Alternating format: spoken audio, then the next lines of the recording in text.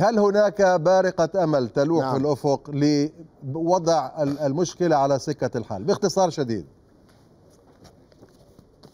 أنا أرى دائما كسياسي أنا متفائل ونعمل على الدفع في هذا الاتجاه م. الأمور الآن تبلورت بصورة واضحة أي تأخير سيكون مسؤولية القائد العام للقوات المسلحة والمكون العسكري في أنه لا يريد التقدم لحسم الوضع الموجود والاتفاق مع غالبية القوى السياسية على الترتيبات المطلوبة م. لإتمام الفترة الانتقالية وتشكيل حكومة وإجراء انتخابات عامة وسوف يترتب على ذلك تداعيات آه، شعبية وأمنية وقد تكون تداعيات عسكرية نعم. ولذلك الوضع الآن وصل إلى نهاياته